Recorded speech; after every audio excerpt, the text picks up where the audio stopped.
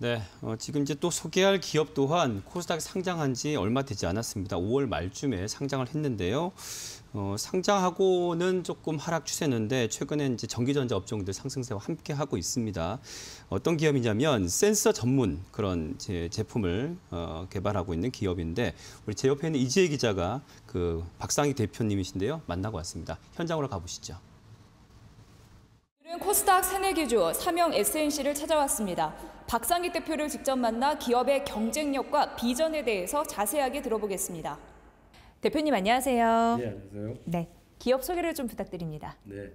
저희 삼영S&C는 21년 업력의 그 국내 토종 센서 기업으로서 어, 저희가 소재 합성서부터 또 이 소자 반도체 소- 웨이퍼 소자를 만드는 공정 그다음에 그런 것들을 연구하는 그 인력과 설비 기술을 모두 한 지붕 아래 갖추고 있는 일괄 공정 할 수 있는 그 그런 그 회사입니다.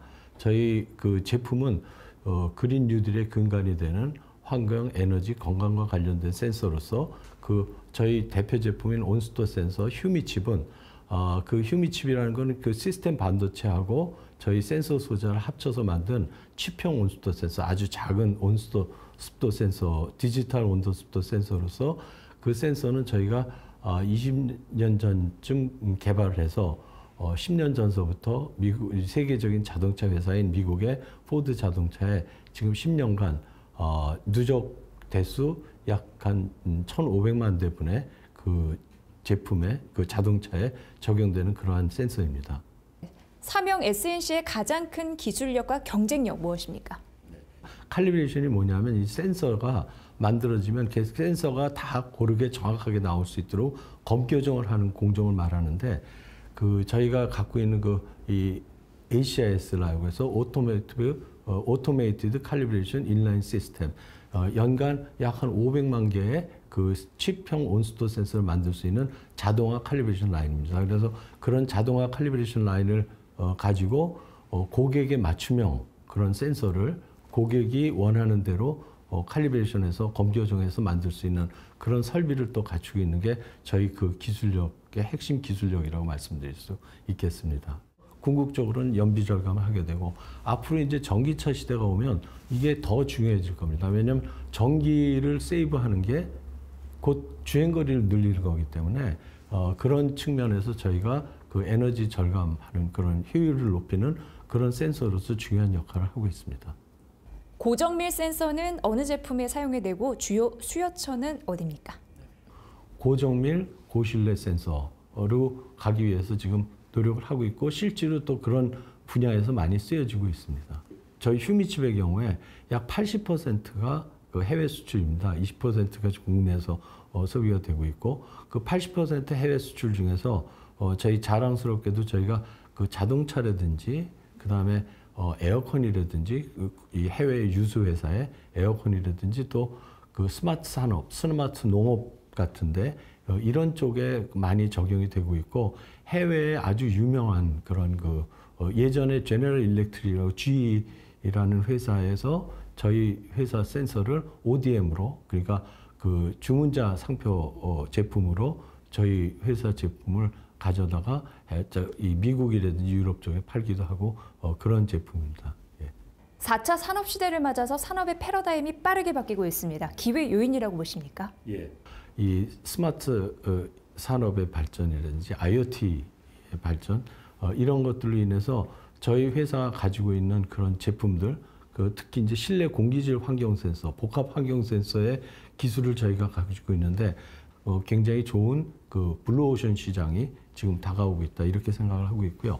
특히 어, 저기서 뭐 보시는 것처럼 저희 그 어, 공기질 센서, 그 복합 공기질 센서 AQ 라이트가 있습니다. 근데 그냥 센서를 어, 뭐 미세먼지 세- 센서라든지 온습도 센서, 가스 센서를 합쳐놓은 그런 복합 센서에 지나지 않고 지, 지나지 않고 저희는 거기다가 어떤 음, 소위 말해서 인공지능 AI를 좀 집어넣습니다. 그래서 어, 그런 측면에서 이런 그 이 소위 말해서 패러다임 변화가 어, 저희 그 온습도 센서 또 미세먼지 센서 이런 복합 환경 센서 부분에서는 어, 커다란 기회를 가져다 준다고 그렇게 생각을 하고 있습니다. 저희가 고객 그 이 다품종 소량 다품종의 그런 어떤 고객의 needs에 맞출 수 있는 customized 된 그런 센서를 만들 수 있는 저희가 가장 그이 원천 기술력이라고 그렇게 말씀드릴 수 있겠습니다.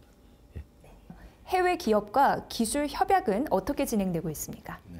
이 해외에 그 뭐 영국이라든지 유럽 또 미국 쪽에 어, 특히 이제 유럽의 회사들이 그 100년 넘는 강소기업들이 많습니다. 근데 국내나 이런 음, 데들은 사실은 센서만 이렇게 저 한 기업들이 이 20년 이상 한 회사들이 별로 없고요. 저희가 20년간 같이 알아왔던 그런 것도 외국 회사와 같이 기술 협력을 해서 그 소위 말해서 아주 고가의 노점계를 저희의 양산 기술과 저희의 그 이 기술력이 합쳐져서 그 고가의 이- 이 노점계를 약 한 10분의 1 정도의 가격까지 내리는 내려서 새로 개발하는 공동 개발하는 그런 지금 프로젝트를 진행을 하고 있고 곧그이 뭐 판매가 될 그, 그런 예정입니다. 곧 그 현장에 적용이 될 그런 예정으로 있습니다. 그리고 국내 쪽에 특히 우리나라가 그런 그 가전이라든지 또 이 스마트 가전 또 자동차 이런 쪽에서 세계를 리드하는 그런 국가이기 때문에 어, 그런 국내 고객 쪽에 조금 더 맞춤형 센서를 그 야- 에, 생산을 해서 국내 고객 쪽의 market share를 좀더 넓혀 나가는데 저희 포커스를 좀 맞추고 있습니다. 초점을 맞추고 있습니다. 예. 그래서 앞으로는 아마 저희가 수출 대 그 국- 내수의 비중이 한 50대 50 정도 그렇게까지 끌어올리려고 내수 쪽에 조금 더 신경을 쓰려고 생각하고 있습니다. 기업의 목표와 비전 설명 부탁드립니다.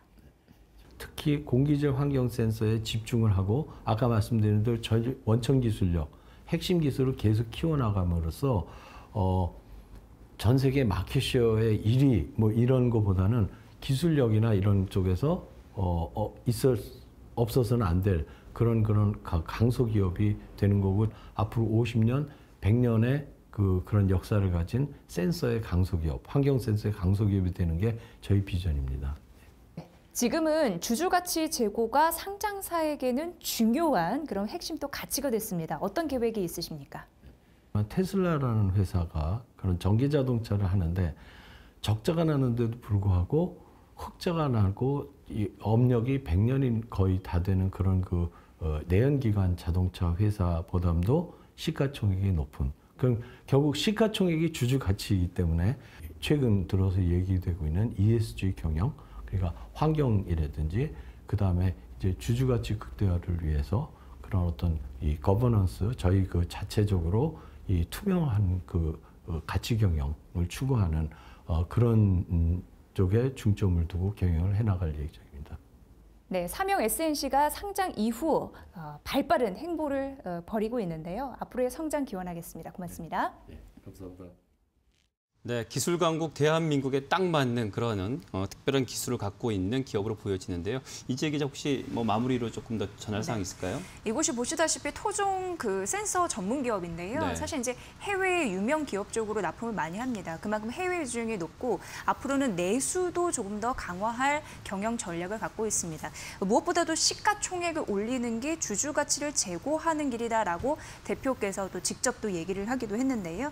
또 친환경 쪽이 주력이다 보니까 전기차 이런 쪽 쪽에 좀 아, 맞춤형 그런 needs를 또 확보할 가능성도 높고요. 어쨌든 이제 코스닥 새내기 주로서 앞으로의 성장성 이쪽에 염두를 두시면서 투자 전략 세워보시는 게 아, 옳지 않을까라는 생각도 해보게 됐습니다. 네.